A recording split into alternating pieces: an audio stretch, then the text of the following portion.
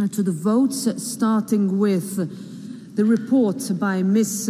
Karin Karlsbro on establishing the Ukraine Loan Cooperation Mechanism and providing exceptional macro financial assistance to Ukraine. It is a single vote by roll call. The vote is open.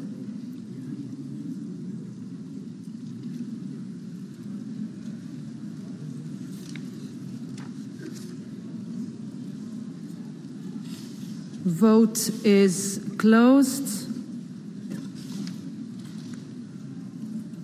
Thank you very much. This is a, another historic moment. And with this vote, we are sending a very strong message that we are using profits from Russian frozen assets for Ukraine, and Russia as an aggressor must and will pay for its destruction Slava Ukraini.